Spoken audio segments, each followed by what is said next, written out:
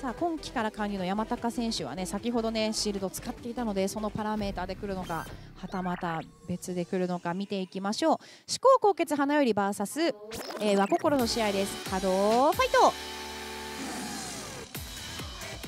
さあいきなり4枚抜きで先制点を決めてきました。和心。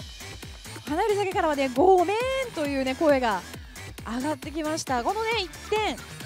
さあ守っていきたいところ。さあしかし、えー、花より先がシールドの外に出てる。アタッカーを抑えてイーブンに戻します。1対1の同点。お互い2枚ずつシールドを残って残しています。そしてお互いタンクプレーヤーがライフ1枚。さあ今度は逆サイドに張ってきました。ここでさ点数を伸ばすことはできるか。先ほど張りに行った隙間をしっかり見てましたね、えー、1点リードしているのは心。しかし取ったら取り返す。花より先が食らいつくぞ。さあ残り30秒。まだまだ時間は残ってます。そして和心はシールド1枚残しているがここで3枚をまとめて出てきましたね。さあラスト20秒。さあお互い本当に一歩も譲らないですね。取ったら取り返す。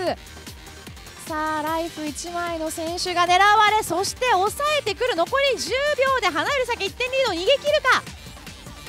さあ和心が前に出て抑えにかかるがさあ逃げ切るか。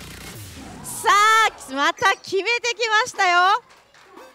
もう会場から大きい拍手です。さあ1点取った方が勝利のオーバータイムマッチ参りましょう。さあライフの枚数1枚が1枚が1人ずつ。さあここからさあ上さん選手が前に出て取りに行くが決めてきたのは花より酒。5対4で思考高決